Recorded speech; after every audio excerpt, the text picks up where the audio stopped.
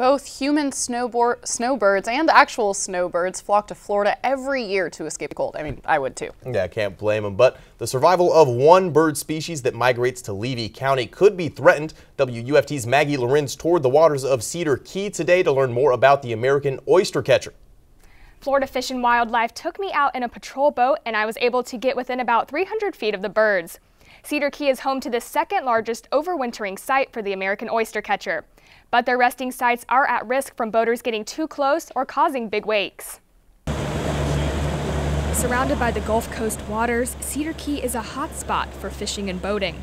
But there are no speed or wake limits regulating the waters where the American oyster catcher rests in the winter months. They are out there and uh, they're not just typical seagulls. They, um, they, they, these are kind of special birds and we want people to be aware of it so that way they can pay attention to it when they're out there boating. The oyster catcher gets its name from its favorite food.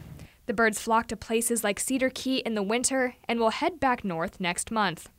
It's hard to see now, but behind me are about 100 of these oyster catchers. You normally can't see these birds from mainland Cedar Key. They rest on small sandbars like these off of the Gulf Coast. The oyster catchers choose these offshore habitats because they're away from most predators and people.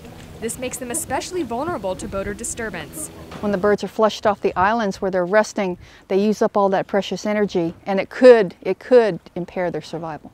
The oyster catcher is considered a species of special concern in Florida.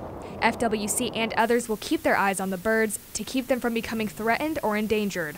When the birds are resting like that, please leave them alone. Don't try to beach your kayak or boat on the islands where they're at.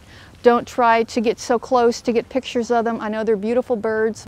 FWC encourages boaters to stay 300 feet away from birds resting on sandbars. Better safe than sorry. When in doubt, stay out.